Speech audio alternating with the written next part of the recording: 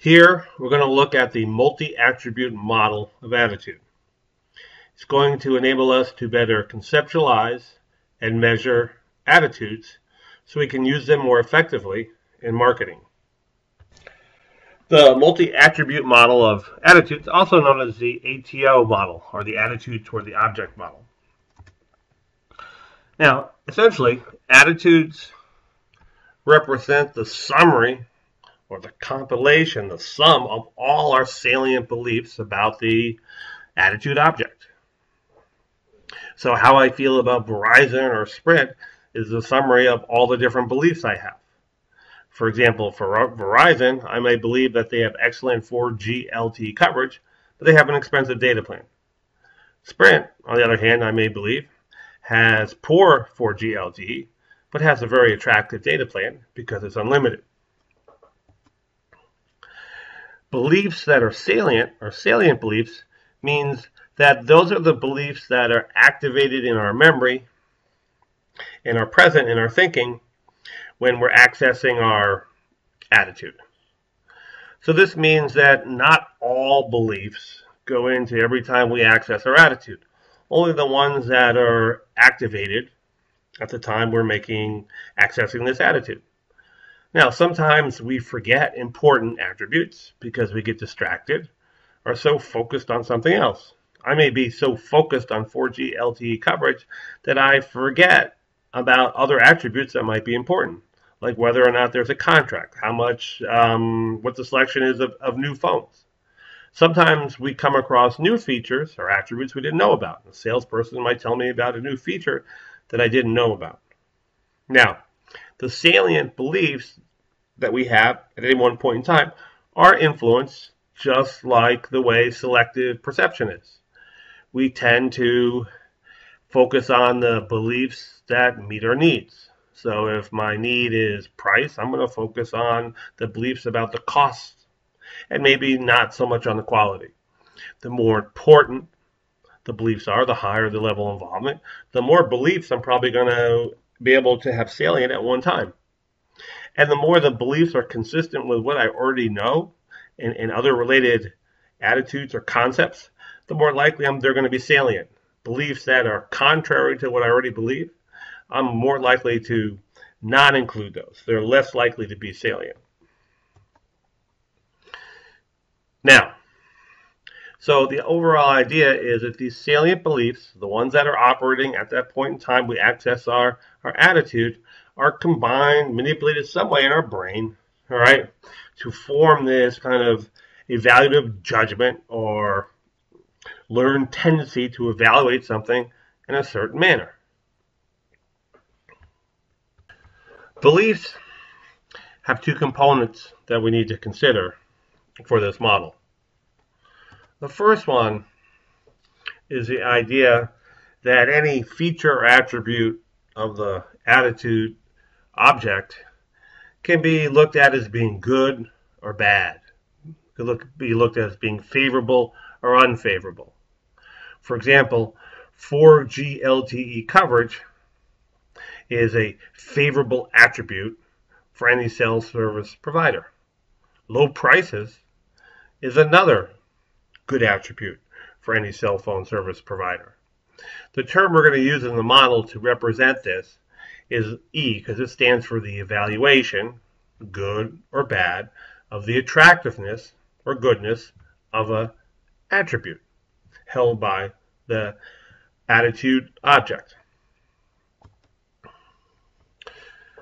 The other component is the degree to which a specific attitude object has that attribute or property.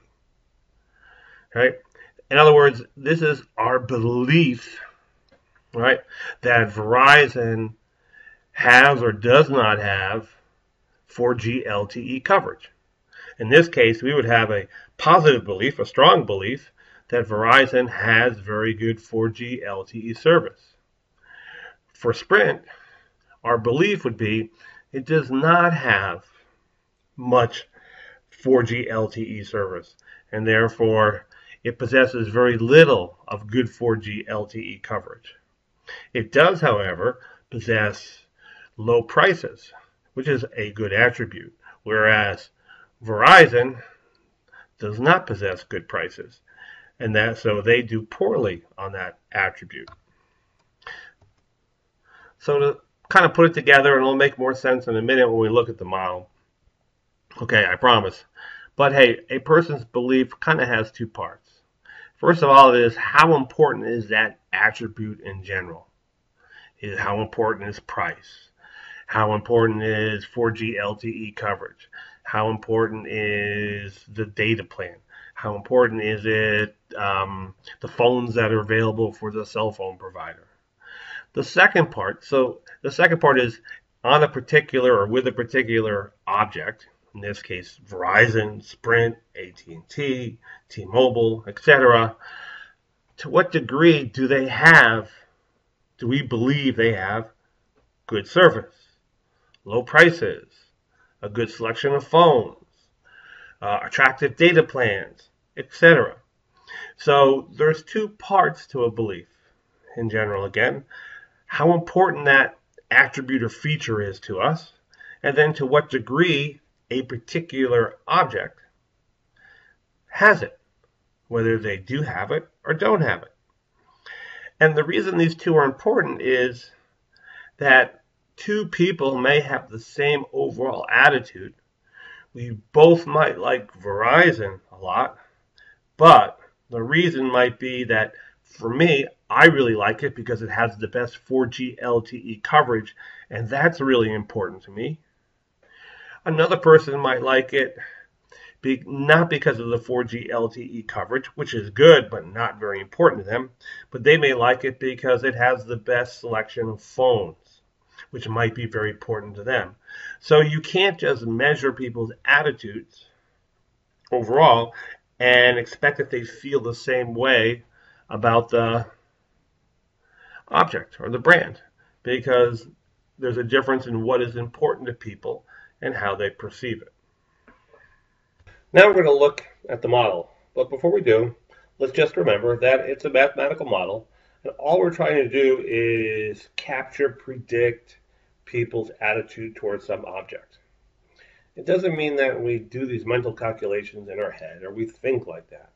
It's only a way to try to approximate it. Okay? And what we're trying to do is capture people's beliefs and attitudes with numbers so that we can compare them so we can compare the attitudes uh, one uh, people may have towards one brand to another. Now, the model looks like this. It's really kind of simple. The attitude towards any object, that's a capital A there, is equal to the sum of, and that happens to be the sigma sign, which looks like a kind of a capital M standing on its side, the sum of how important an attribute is to that person, for example, how important is 4G LTE coverage to you or to me? And our belief as to how well the brand performs on that attribute. In other words, do they have good 4G LTE coverage? So we multiply those two numbers together, right?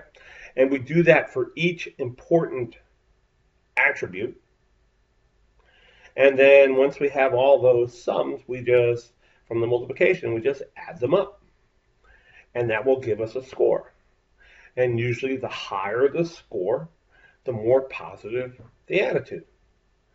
So it's pretty simple. The reason we have, again, separate an E and a B is that not all attributes are equally important to everybody, and not all people rate the attitude object, Verizon's 4G LTE coverage or Sprint's our, Sprint's 4G LTE coverage is the same. So this way we can cover all the main things that. Now we're going to look at an actual example to help make things a little clearer. Let's assume that we conducted a survey of people who like to eat out. And we asked them about three different restaurants. And up at the top, in the top row to the right, you can see we asked about Olive Garden, Chili's, and TGIF. And in the survey, in general, we asked people what were the most important attributes. And in general, they said quality of food, the service, the, the menu value, meaning the pricing and what you get, and then the bar.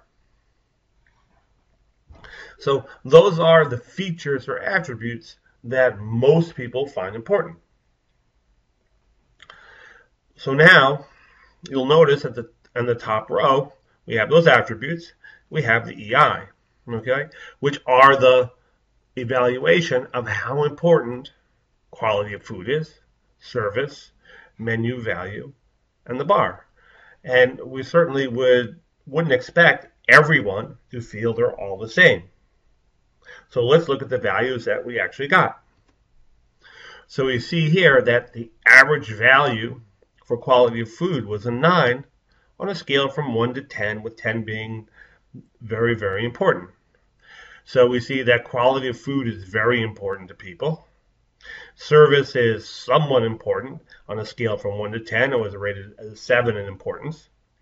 The value of the menu, meaning relatively the pricing and what you get, was also very important at an 8. And to most bar, I mean, to most diners, going to the bar wasn't that important. It was only rated a 4. Now, the attitude score right here in the lower left-hand corner represents the total score that Olive Garden and Chili's and TGIF will get on this. But we can also calculate a perfect score, meaning that given that the quality of food is rated in importance of 9, right? What if somebody felt that it was the very best? That would be a 10, the highest score. So we could say, hey, 9 times 10, we're taking the EI and multiplying it by the BI. That would be a 90 in that box. And for service, if a if a restaurant had perfect service, that service was rated a 7 in importance, but you did it perfectly, it would be worth 70 points. It could be 7 times 10. And you can look at the menu value, which was the second most important thing at 8. If a company had the best possible menu value, they could get 80 points here. And then for the bar, it's only worth four points out of 10. But if you did it perfectly, had the best bar, you could get 40 points. If you added those all up, if a bar had, a restaurant had perfect quality of food, perfect service, menu value, and bar, the total of those would be 280 points. 90 plus 70 plus 80 plus 40. So that's the best score any of the three restaurants could get. You can't get higher than that. That would mean that you scored the very best in terms of what people believe you have on what's important to them. Now, let's look at Olive Garden. So Olive Garden, right, for the quality of food was rated a 6. So if we multiply 9 times 6, they got 54 points out of a possible 90. On service, they did pretty well. Service was somewhat important with a 7. They got rated an 8 out of 10. So they got 56 points altogether. For menu value, they didn't do so well. They got a 6 out of 10. Menu value happened to be pretty important, so they managed 48 points. And then for the bar, which isn't that important, they only received 5 points. Of, so they were rated a 5 out of a 10, not particularly good. So they only got 20 points. So if we add up all those points, a 54, a 56, a 48, and a 20, they received 178 points. Now, that 178 points by itself doesn't mean anything. It just kind of represents how people feel about Olive Garden. We know that if Olive Garden was perfect, their score would have been 280. That would be a, you know, people have just a, a fantastic attitude towards Olive Garden, but they don't. So they have somewhere in a, 178. Where it starts to make sense is when we look at the other ones. So let's look at Chili's and let's look at TGIF. So we'll do Chili's first, and that's this column right here. So you can see that they scored a 7 on quality of food, so 9 times 7 is 63. So they did better than um, Olive Garden. And they only did a 5 on service, so Olive Garden did much better. Um, so Chili's gets 7 times 5, they get 35 points. Menu value, Chili's did better. They got an 8 out of 10, and menu value is important, so 8 times 8 is 64. And then on the bar, Chili's has a pretty decent bar, so even though it was only worth a 4, it wasn't that important to most diners, they still scored 28 points. So if you add up all of Chili's scores, right, they got 190. So this says that people prefer Chili's to Olive Garden, that they have a more favorable attitude towards Chili's than Olive Garden. And we can see, hey, Chili's does better in the quality of food, they have more points. They don't do as well in service, but they do better in menu value and they do better in the bar. Now, we look at TGIF, right? If we look at the quality of food for them, they only got five points. So 5 times 9 is 45. And they did the poorest, and you can see they received the fewest points 45 versus 54 over here for Olive Garden and 63 over for Chili's. They did okay on service. They got a 6, though they did better than Chili's, but not as well as Olive Garden. So they got 6 points times 7, because that's how much was, how important it was to people. They got 42 points. They did pretty well in menu value. They did better than Olive Garden, but not better than Chili's. They got a 7. So they end up with 56 points. And then for the bar, they got 90 points. I'm sorry, they got a 9, which represents the highest score there. And it's not worth a lot. It's only it's not that important to people, but still it netted them 36 points. So when you look at their score, you add up 45, 42, 56, 36, they got 179 points. So they're a little bit better than Olive Garden, but pretty much the same. We pretty would feel pretty safe saying that Chili's is most people have a more favorable attitude towards Chili's. Now, if we look at Olive Garden and TGIF, almost identical scores, you can see that hey, the quality of food, people like Olive Garden better, 54 points versus 45. But the service, okay, they also liked it Olive Garden. They got 56 points versus 42 at TGIF. So but for the value menu, people really like TGIF's a lot better. They got 56 points versus 48. And the bar, which wasn't that important, they still received a significant amount of points, 36 versus 20. So you can see that people's attitudes toward Olive Garden TGIF can kind of be summarized up by saying that, hey, uh, people go to Olive Garden like the quality of food and service more. That's more important to them, and Olive Garden does better than that.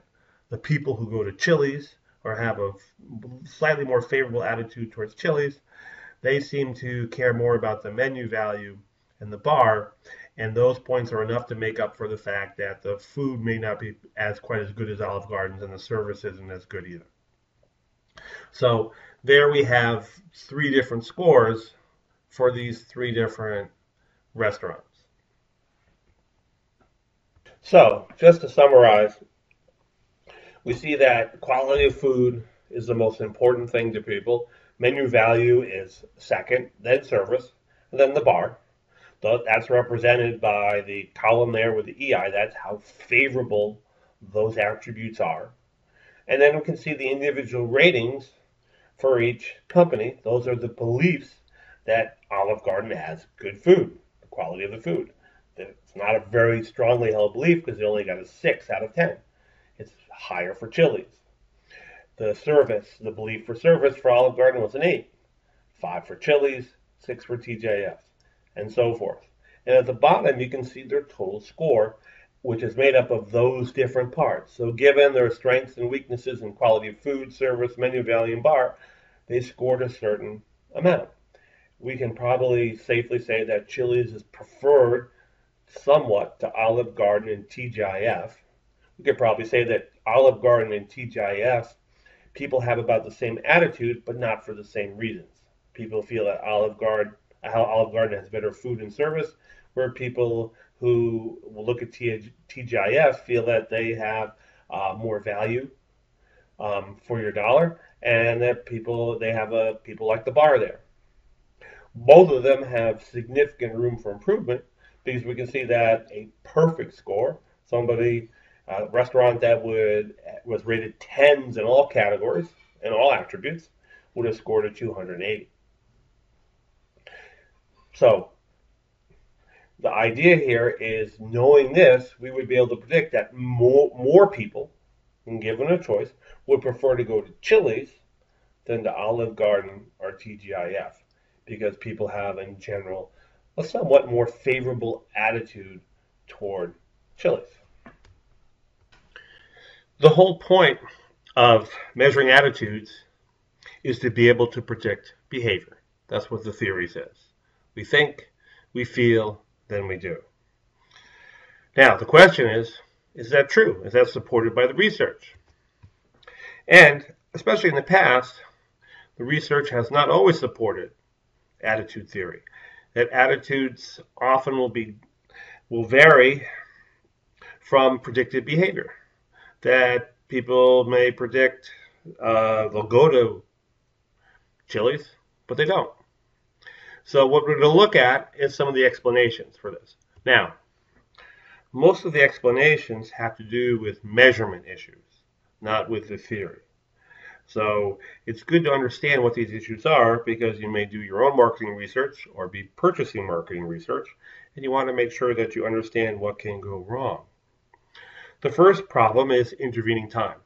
It just means that if you measure attitudes today and then measure people's behavior a long time from today in the future, they're probably not going to match up very well because too much stuff happens that subjects and their feelings and attitudes change. Attitudes aren't fixed, they're dynamic. As our beliefs and feelings change, so will our attitudes. I'll give you a quick example. Um, if you'd asked me a year and a half ago about how I felt about Volkswagen cars, I would have had a very positive attitude. We owned two Volkswagens that ran really well, and I enjoyed driving the Rabbit, and my wife enjoyed driving her Beetle. Um, if you looked at my behavior a year and a half later, um, you would have seen that I traded my Volkswagen in and didn't buy a Volkswagen. I bought a Honda. So you'd say, gee, that didn't predict that. Well, of course it didn't, because what happened? In the time between a year and a half ago when I traded in my car, I had all sorts of problems with uh, my Volkswagen. So I wasn't going to keep dumping money into that car. So stuff happens. So you can't have a big window of time between when you measure an attitude and then you expect to be able to predict behavior. The next issue is specific, ugh, specificity. That's a tough word to pronounce. And anyway, the idea is that oftentimes attitude and behavior aren't measured at the same level. And here, let's best through a concrete example that's, that's written here. Um, many times we might ask people, hey, how important is going to class? What's your attitude going to class? And what are most students going to say? Most students are going to say, well, it's really important. And they're going to have a very positive attitude towards attending class. Now, if you pick out any particular day, you know, um, during a semester, um, and you see whether or not students have attended, you might find that a fair amount of students who said that attending class was important to them aren't attending. Well, how come? If you had measured their attitude at the beginning of the semester, not enough stuff had changed, so it's not intervening time. The answer is that a general attitude towards how important is going to class, how important is going to church, doing well at your job, all that kind of stuff.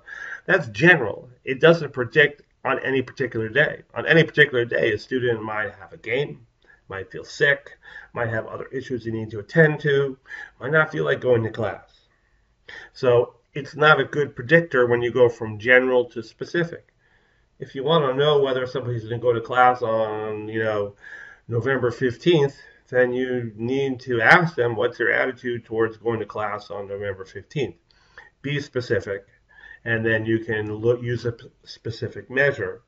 If you want, are willing to use a general measure, then sure, you could look at somebody's attendance over the course of the semester to see whether or not attitude predicted, so they're at the same level. General attitude towards attending class, general behavior of going to class measured by their attendance over a semester. Unforeseen environmental or situational events will often break the link between attitude and behavior. This is because these environmental or situational events aren't present when the attitude is measured, but are present when the behavior is measured. So, an example might be that you might normally go to Chili's, but if you're inviting a significant other, a friend, a coworker, uh, your supervisor, that may change which restaurant that you go to.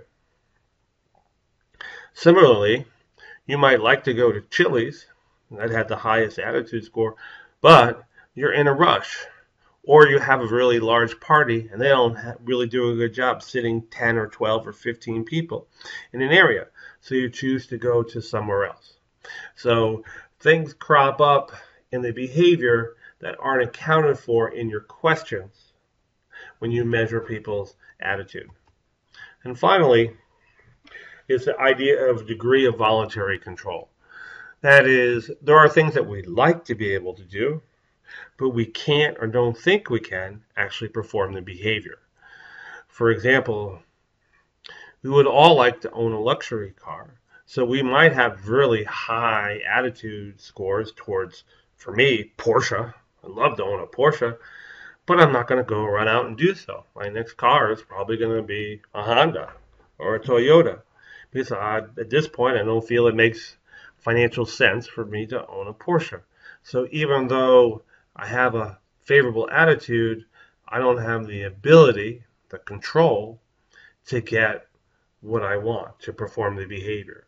So these are the four main factors that often lead to a, a break in the link between attitude and behavior. Whether or not we have unforeseen environmental or situational context, the degree of voluntary control, whether or not too much time has passed between measuring the attitude and measuring the behavior, and whether or not the attitude and behaviors were measured at the same level. The question of specificity, so that we make sure that attitudes measured on a general level um, should also look at behaviors measured on a general level. When those things are accounted for, there is a strong link between attitudes and behavior, though not a perfect link.